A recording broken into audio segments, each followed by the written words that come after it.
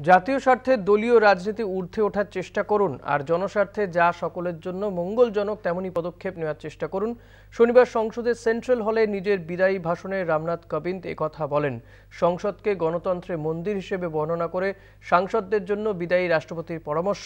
বিতর্কে অংশ নেওয়ার সময় সব ক্ষেত্রেই গান্ধীবাদী দর্শনকে সামনে রেখে চলুন।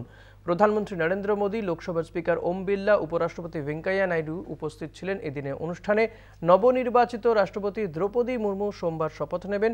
কবিন তার ভাষণে জানিয়ে দেন, আগামী দিনে রাষ্ট্রপতি হিসেবে দ্রৌপদী মুর্মুর নির্দেশিত পথেই উপকৃত হবে গোটা দেশ।